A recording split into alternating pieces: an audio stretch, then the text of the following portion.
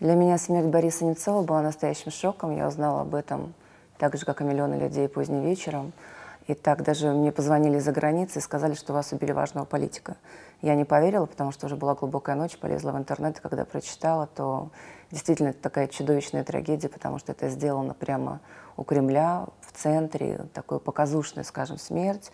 А я была знакома с Борисом Немцовым, несмотря на то, что мы встречались крайне редко, но это были такие теплые дружеские встречи, и у него было настолько позитивное мышление, и, наверное, жалко еще вдвойне, втройне, потому что людей с таким мышлением на сегодняшний день единицы. И таких жизнелюбивых людей, действительно, человек, который, несмотря на все свои регалии, привилегии, он упивался жизнью, он смаковал ее по капельке, и действительно человек, который, несмотря ни на что, жил в удовольствии. А вот. И если говорить о его фигуре как о политике, как о значимой фигуре, то, а, по-моему, произошло то, что редко происходит с нашими людьми, когда наши люди восприняли смерть Бориса как свою личностную трагедию. В общем-то, каждый, ну, даже несмотря на то, что кто-то был с ним не знаком, кто-то вообще мало о нем когда-то слышал, хотя таких людей единицы, все восприняли как какую-то свою личностную утрату.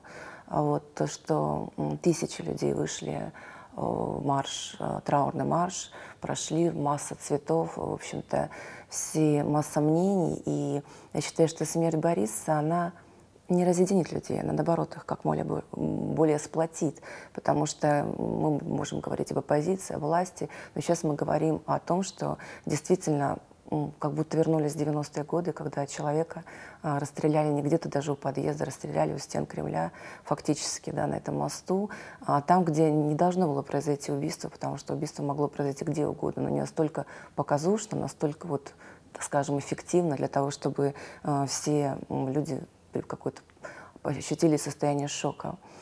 Говорить о нем как о политике, я считаю, что он играл и до последнего такую важную роль, а, несмотря на то, что в последнее время о нем уже было мало где слышно.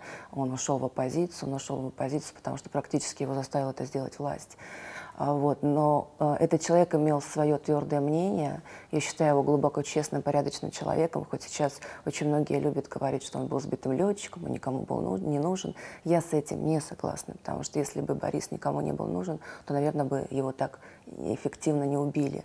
А, вот, но говорить о том, что раскроется ли это преступление, опять же скажу, что это мое субъективное мнение. Я считаю, что преступление не раскроется.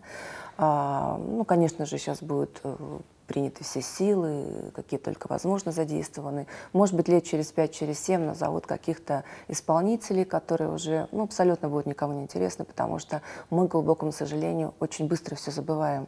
Сейчас поговорим на 9 дней, поговорим на 40 дней, и на годовщину уже мало кто-то будет о нем разговаривать.